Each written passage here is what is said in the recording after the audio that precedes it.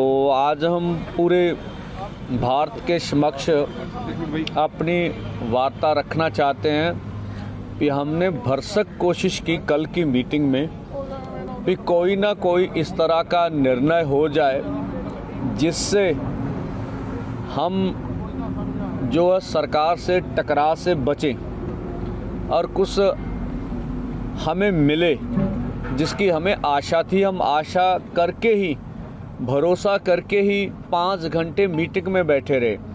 हमने उनके समक्ष हरियाणा की पोजीशन रखी कि हरियाणा को आपने बिल्कुल कश्मीर की वैली बना दिया है। आप हरियाणा में हर गाँव में पुलिस भेज रहे हैं। हरियाणा के हर गाँव में वाटर कैनन भेजे हैं। आपने हरियाणा के हर गाँव में पटवारी जा रहे हैं। हरियाणा के हर गाँव के किसानों को रिश्तेदारों को तंग किया जा रहा बोला जा रहा आपका बेटा एमबीबीएस कर रहा उसे करने नहीं देंगे। आपका बेटा डिग्री जिस तरह के लिए उसको होने नहीं देंगे। आपका घर भाई नौकरी कर रहा उसे नौकरी से निकाल देंगे और आपके पासपोर्ट रद्द कर देंगे। तो इस तरह की मतलब अन्य तरह की प्रताड़ना अधिक से अधिक है जिस तरह का भी हम कह लें अधिक से अधिक है।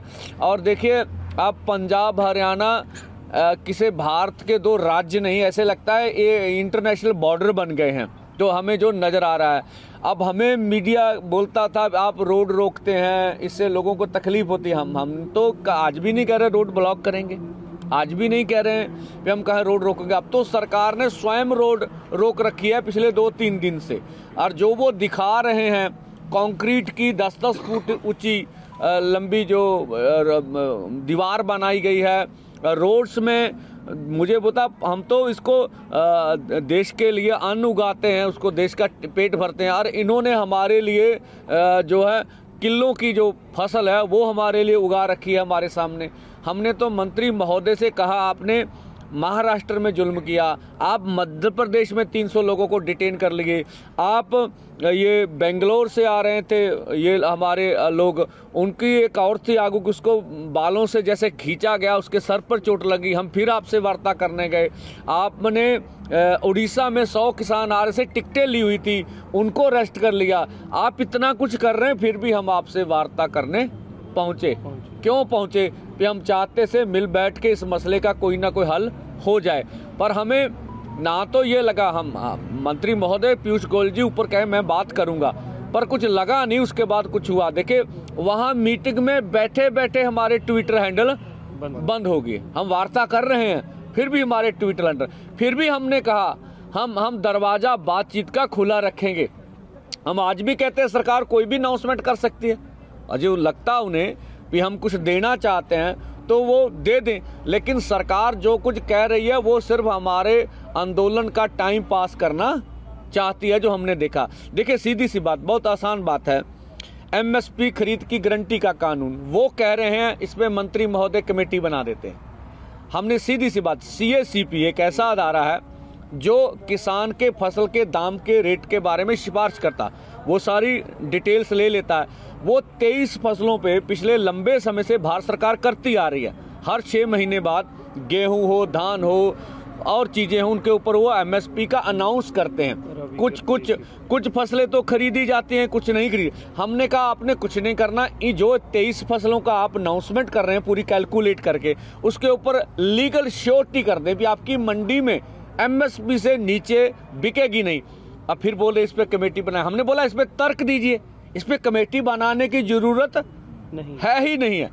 तो इससे वो बिल्कुल उसका जवाब उनके पास नहीं था। आप कमेटी बना के हमारे मुद्दे को डिलीट करना चाहते हैं। हमने ये भी बोला मानजोग प्रधानमंत्री जब 2012 में कंज्यूमर अफेयर कमेटी के चेयरपर्सन थे तो उन्होंने कहा था एमएसपी गारंटी कानून देंगे। उनकी सिफारिश है।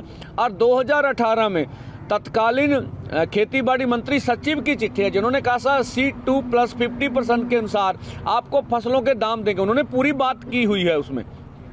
और इस तरह से जबलपुर हाई कोर्ट में जब किसानों ने जब केस डाला था तो उन्होंने दोनों दोनों पक्षों को सुनकर, सरकार का पक्ष भी सुना, जो जो पीएल डालने वाले थे, उसका पक्ष भी सुना और निर्णय किया भी एमएसपी से नीचे किसान की फ़सल खरीदी नहीं नहीं जाएगी। हमने तीनों तर्क उनके सामने रख दिए।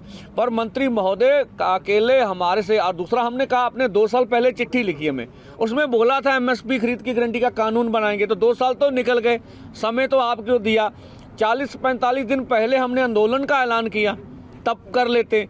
तो उनका आंदोलन को टालने का मुद्दा था जिससे हम निराश हुए हैं भी सरकार हमारे साथ बैठ के मसले का हल नहीं करना चाहती। सी टू फिफ्टी के ऊपर भी उनका कोई निर्णय है। किसान मजदूर के कर्ज के बारे में बोलने मालूम करना पड़ेगा। कितना है?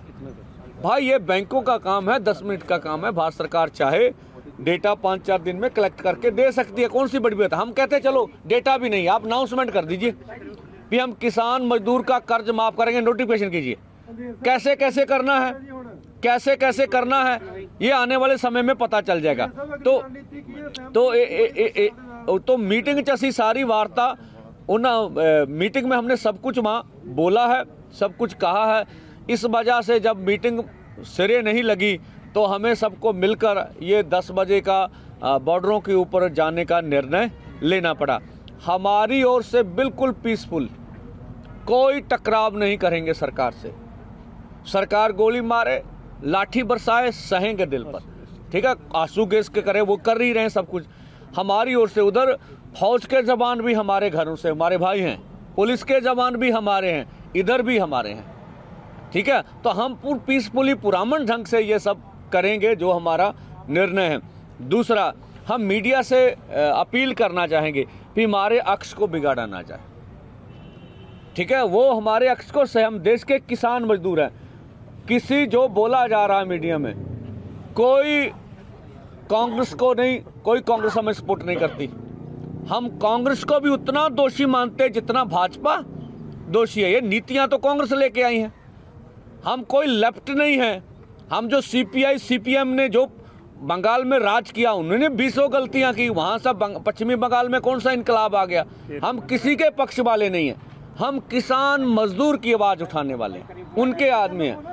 तो अ, बाकी हम फिर अपने अ, लोगों से अपील करेंगे चाहे पंजाब और देश के गायक हैं बुद्धिजीवी हैं एनआरआई भाई हैं चाहे और सिविल सोसाइटी है सभी सिविल सोसाइटी उसमें पत्रकार भाईचारा भी आता है वो ज़रूर इस बड़े आंदोलन में ये हमारा सवाल नहीं हम हम नहीं कहते 140 करोड़ देशवासियों की मांग है उसमें से 60 करोड़ से अधिक किसान हैं इस देश में खेत मजदूर अलग हैं तो 70 पचहत्तर परसेंट आबादी की मांग है सब हम मिल के करेंगे इस देश को हम आगे लेके जाना चाहते हैं अगर कृषि बच गई तो देश बच जाएगा तो ये हमारी बात सी और मैं ਹੁਣ ਪੰਜਾਬੀ ਚ ਕਹਿ ਦੇਣਾ ਚਾਹੁੰਦਾ ਵੀ ਦੇਖੋ ਭਰਾਓ ਪੰਜਾਬੀ ਤੇ ਹਰਿਆਣਾ ਮੀਡੀਆ ਮੈਂ ਸਾਰਾ ਮੀਡੀਆ ਕਹਿਣਾ ਚੰਗਾ ਕੋਈ ਮਾੜਾ ਨਹੀਂ ਹੈਗਾ ਆਪਣੇ ਬੰਦੇ ਜ਼ਰੂਰ ਮੀਡੀਆ ਨਾਲ ਕੌਰ- ਕੌਰ- ਅਹ ਜਿਹੜਾ ਸਹਿਯੋਗ ਕਰਨ ਜਿਹੜੀ ਉਹਦੇ ਵਿੱਚ ਸਾਡੇ ਬੰਦੇ ਮੀਡੀਆ ਨਾਲ ਟਕਰਾਅ ਵਾਲੀ ਗੱਲ 'ਚ ਨਾ ਆਉਣ, ਸਾਡੀ ਜਿਹੜੀ ਬੇਨਤੀ ਆ, ਸਾਡੇ ਨੌਜਵਾਨ, ਸਾਡੇ ਕਿਸਾਨ, ਮਜ਼ਦੂਰ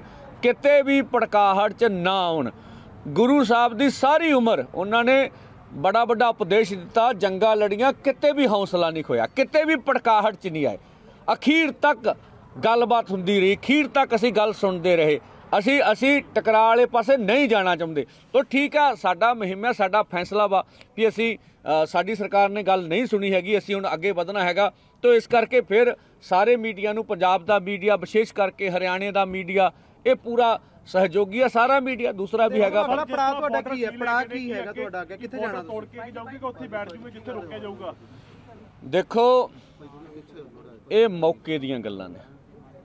ਕੀ ਮੌਕੇ ਦੀਆਂ ਪ੍ਰਸਥਿਤੀਆਂ ਬਣਦੀਆਂ ਨੇ? ਕਿਹੋ ਜਿਹੇ ਮੌਕੇ ਤੇ ਫੈਸਲੇ ਲੈਣੇ ਪੈਂਦੇ ਨੇ? ਇਹ ਮੌਕੇ ਤੇ ਪਤਾ ਲੱਗੂਗਾ।